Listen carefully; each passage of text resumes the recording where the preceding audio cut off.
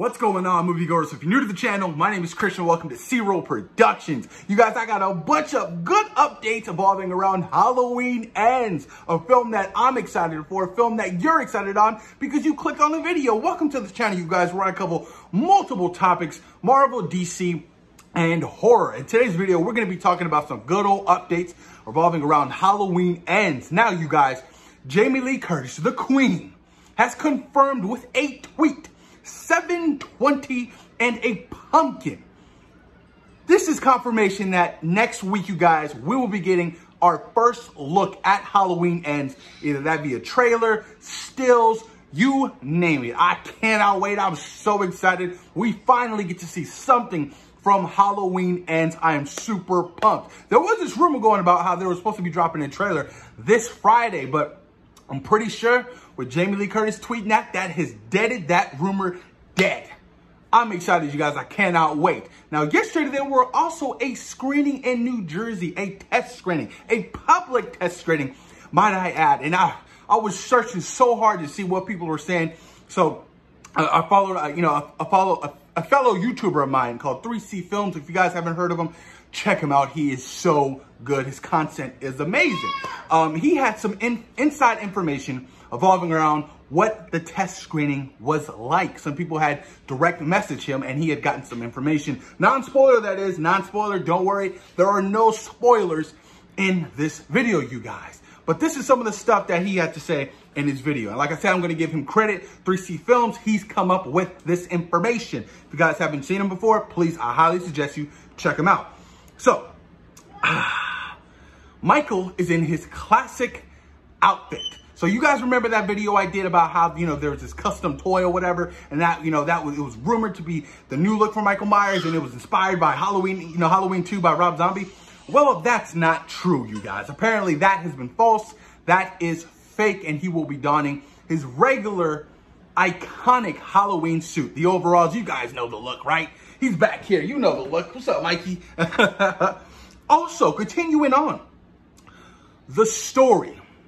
This film really focuses on the story and the PTSD of like Laurie, um, Allison, and Lindsay, and possibly the community of Haddonfield, because they have had to deal with this man damn near all night, wreaking havoc on Haddonfield, killing a bunch of people.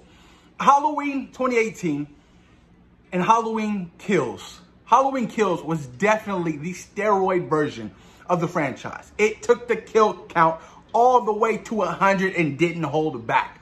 So I heard that, you know, it will really focus on the women of Haddonfield and all the trauma that they've endured while dealing with Michael Myers. And that Michael Myers will be taking a back seat in this film. It's not, Michael is not the vocal point anymore.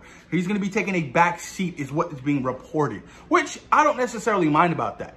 I, am fine with that. I love story. I'm all about story. And if Michael's to be taking a little bit of a back seat and we can dial down the tone of what Halloween Kills had to offer, I'm completely okay with that. I'm fine with that. Also, there is another threat in the air. Didn't confirm it, don't know what it is, but it is another threat, you guys. I don't know what this means, but maybe Jason might show up. Maybe Freddy might show up. I don't know. I'm just joking. Hell, even the leprechaun could show up at this rate. but apparently, there's another threat involved around this film. I'm trying to really figure it out and trying to scope it to be like, what could it possibly be? I mean, you know, the first film you had Dr. Sartain, who was kind of like the sideline villain. Like, the, I, he's dead. He can't come back, right? And then I just, I don't know. It's really, really interesting to me saying that there's another threat in this film. So very, very, very, very curious about that. Also, Michael Myers is weakened. We all know, we've all seen Halloween Kills. This fool was beat down. He got a Brooklyn beat down by damn near half of the town of Haddonfield. And he still come up and won. He was stabbed, he was shot, he was hit with a bat, you name it. This brother was crippled by the end of that movie. I don't know how he was walking and how he got back to the house to kill Karen. But obviously, like I said, with him taking a beating in Halloween Kills, it will show in Halloween Ends. He won't be the strong, you know, supernatural Michael Myers that we're accustomed to seeing, right? Snapping people's heads backwards and frontwards and all that crazy stuff. He will be a much slower version of Michael, which very, very interesting to me. Last one, you guys. There will be no explanation to where he has been during that four-year gap, which I think kind of sucks because I wanted to know. I really wanted to know. What, what is Michael doing for four years? How many people did he kill within those four years? You know what I'm saying? Like, that's a huge plot hole that is going to bug me.